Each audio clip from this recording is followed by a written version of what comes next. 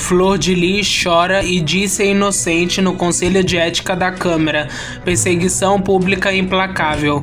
A deputada Flor de Lis é ré na Justiça do Rio de Janeiro sobre acusação de ter encomendado a morte do marido, pastor Anderson do Carmo. A representação quebra de acordo pode levantar pode levantar a cassação do mandato.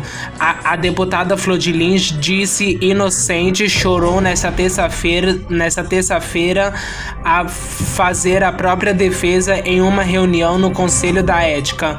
A parlamentar negou acusações que tinha mandado matar o pastor Anderson do Carmo. Agora você vai ver o vídeo ela chorando dizendo que não matou o, o pastor Anderson do Carmo. Vamos ver a vocês, as vossas excelências, que não cometam nenhuma injustiça comigo, por favor. Vossa excelência, não pode imaginar a tristeza no momento que eu estou vivendo. Jamais poderão pensar a dor de perder o meu marido. O deputado Cezinha, que está presidindo essa comissão, desculpa, deputado, desculpa, presidente, o senhor conheceu a gente. O senhor sabe quanto nós éramos unidos enquanto nós lutávamos juntos. Eu jamais mandaria meu marido. Ele era meu amigo. Ele me tratava bem. Ele era bom pra mim.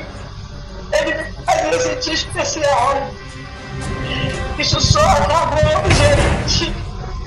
Depois que a minha filha confessou coragem de ouvir a confissão toda da minha filha, mas eu fiquei sabendo. Ela rolou que mandou matar meu marido. Isso não tá certo. Não era esse o caminho que ela tinha que tomar. Essa a forma da vida. Ela tinha. Ela não podia fazer isso, ela tinha outros caminhos a percorrer. Ela tinha outros caminhos para fazer justiça e você viu o vídeo, Flor de Lins responde pela acusação criminal de justiça do Rio de Janeiro. E no Conselho de Ética é alvo de uma representação que quebra de dercodo pode levantar cassação do mandato.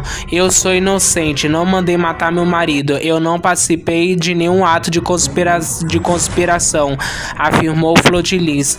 Diz que está sofrendo uma perseguição pública implacável. A deputada declarou que a vida dela e da família se transformou em um caos nos últimos quase dois anos. O que está acontecendo é que o, o assassinato da minha minha repercussão do meu nome disse: O Anderson do Carmo foi morto a tiros na garagem em casa em Niterói, na, regi na região metropolitana do Rio de Janeiro, no ano de, 2019. No ano de 2019. Flor de Lins é ré por cinco crimes relacionado, incluindo homicídio triplamente qualificado, associação criminosa, a parlamentar nega todas essas acusações. Meu Deus, que história impressionante, né?